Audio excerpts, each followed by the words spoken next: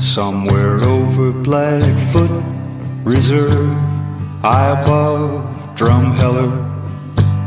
Sky hostess starts to serve cloud shadows on the mountain, and our shadow on the mountainside.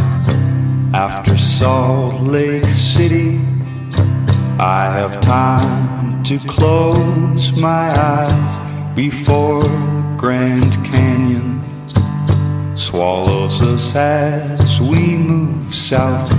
I pray the Grand Canyon take our plane inside its mouth.